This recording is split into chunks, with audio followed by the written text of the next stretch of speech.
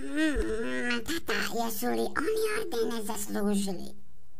I tata, jesu li nas oni uspješno vodili? I tata, tata, jesu li oni doživotno u pravu? Oni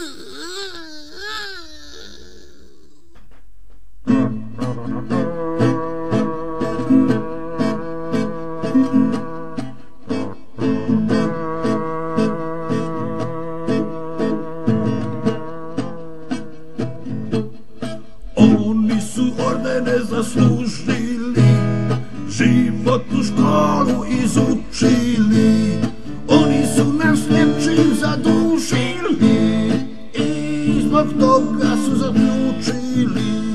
Oni su nas nečim zadužili i zbog toga zaključili. Slušaj, sine, obriši ne budi alav, josi balav. I slušaj, sine, obriši sline i ne budi alav, josi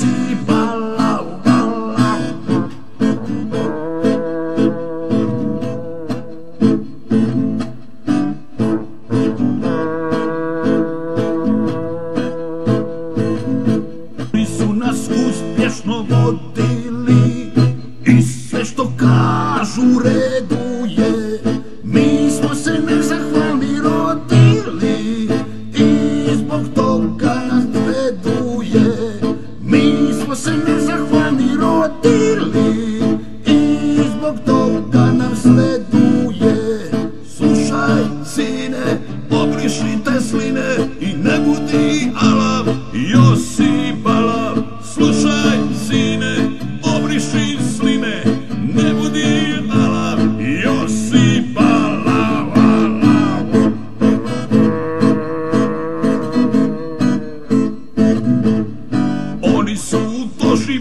U pravu i bolju budućnost nam stvaraju.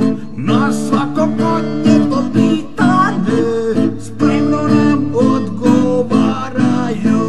Na svako podnijeto pitanje spremno nam odgovaraju.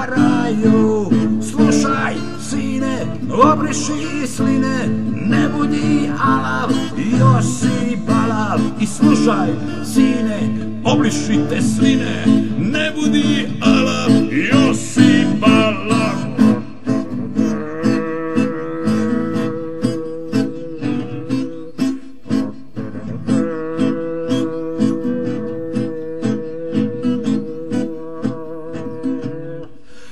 Slušaj ti, tata, vodi me odavde, neću ni tren da budem više ovde. Oni su doživotno u pravu.